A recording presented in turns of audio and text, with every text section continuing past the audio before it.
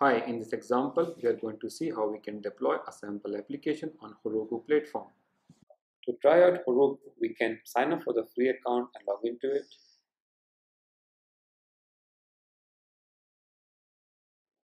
After logging in, we can click on create new app to create our first app.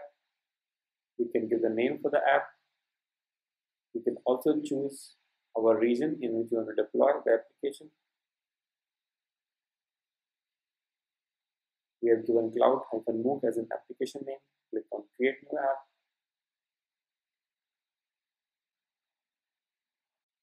Heroku also has a feature of pipeline by which we can make entire CI/CD cycle.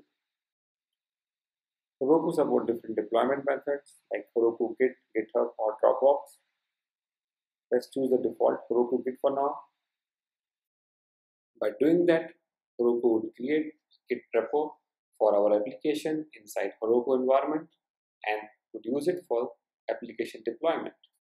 We can log into our Heroku environment from the command line using Heroku login command. We have to provide our email and the password.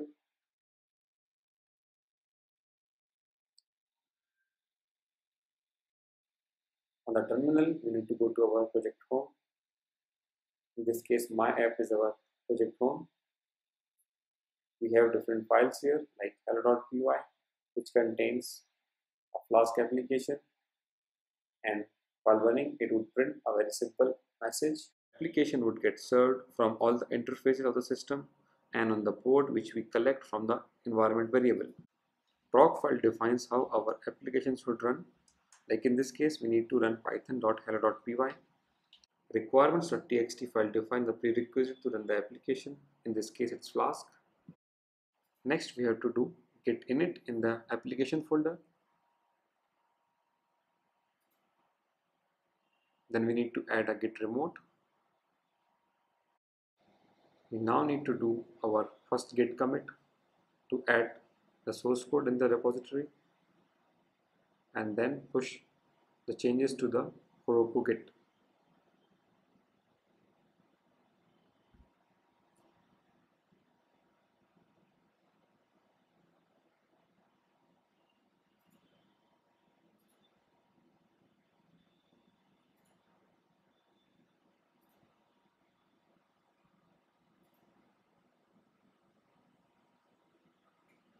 After doing the push, it would start the build process, which would detect that our application is written in Python and would use Python build pack to build the application.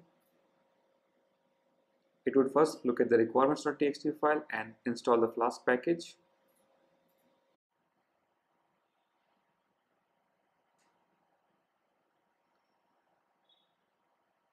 By looking at the Procfile, it would know how to deploy the application once bundled, it would compress and launch it. We can access the application via the URL shown on the screen, which would be our application name .herokuapp.com. We can attach it to a custom domain name also. We can look at the settings of the application by clicking on the settings button. We can see the existing information of the application.